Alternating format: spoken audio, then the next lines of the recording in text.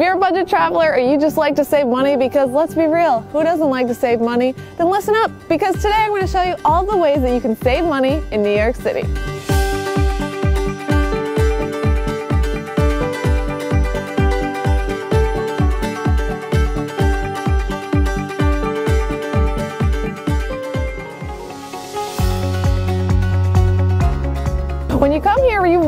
Don't need to exchange your currency because most places take credit cards. You can literally get around everywhere with these.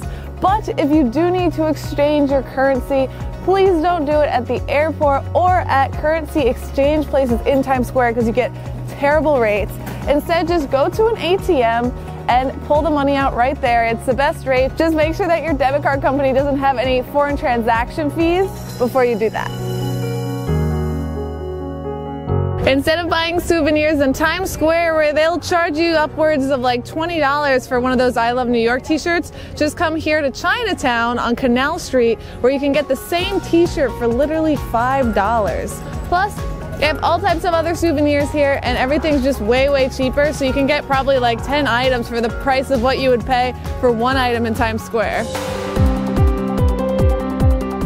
A guaranteed way to save tons of money is to actually come between January and March, and that is because it's our least popular season here. We have the least amount of tourists, which means you have the least amount of crowds and you get the best prices because all of the prices drop when there's the least amount of tourists. So coming during that time frame is definitely the best way to save money. Make sure that you come with a coat because it's very cold then.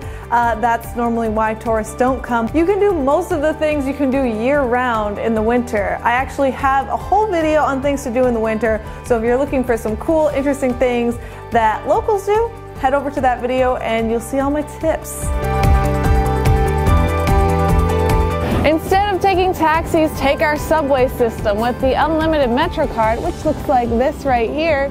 If you get a weekly one, it's $32 and you can use it literally unlimited times. Um, for a taxi, a $32 ride will get you from like Brooklyn to Manhattan. So one ride or unlimited rides. Hmm, it's a tough one. Instead of spending your money at a hotel in Times Square, spend it at an Airbnb. Hotels are on average $350 a night here in New York, and an Airbnb, you can get a really nice one outside of the city for like 70 or $80. And below, I have a link where you can get $40 credit for free, and that's how you can book your first Airbnb.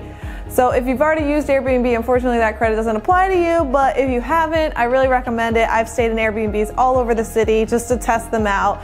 Definitely look for like the 70 to $100 price range outside of the city to get someplace that's really nice. And make sure you read the reviews because that is super essential when you're staying in Airbnbs.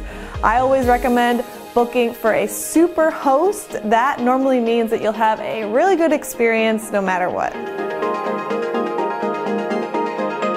Instead of eating at restaurants to save money, you can eat at food carts and trucks like this one. Here you can get an empanada for $1.50. I also have an entire video all about budget restaurants and budget places to eat. I'll link that below so you can check it out. And that all of the stuff in there is under $9. So no matter what, I got you covered on the prices with the food. Don't worry.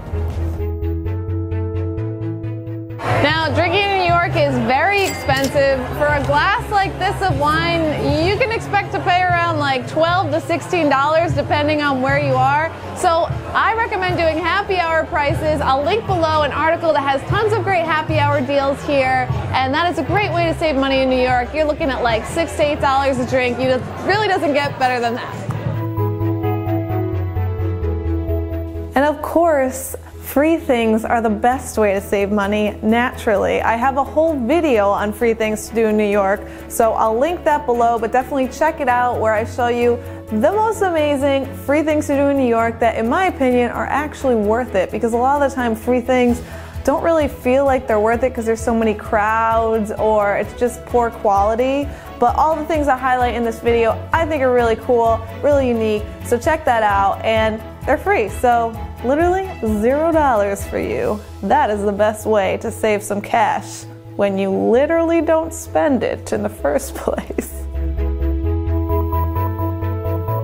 Broadway is the number one attraction here, but you shouldn't have to pay full price on tickets. There are so many ways to get discounted Broadway tickets so you can save more money. I have a whole video about how you can save money buying Broadway tickets, so click below to watch that and, you know, use that money for something else. No matter if you live in New York or you're vacationing here, Probably one of the best ways to save money is to eat at home, and I recommend doing that at least for one meal a day, if not two. I mean, that's what we're doing, right, Louie? What are you making tonight?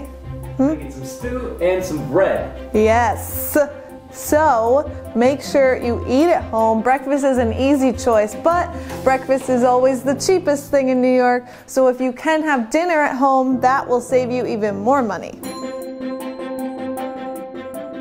Instead of taking a taxi from the airport, which can cost you around $50, use public transportation. I have a whole video on how you can get from all of the airports to the city center, and this will save you tons of money.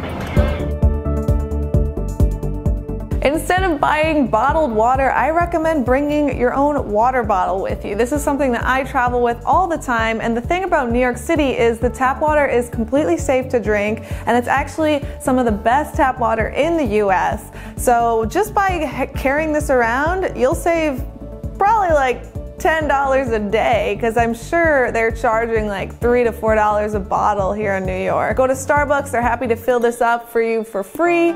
A lot of restaurants are also happy to do that. Um, it's just a really simple way to save some money while you're here.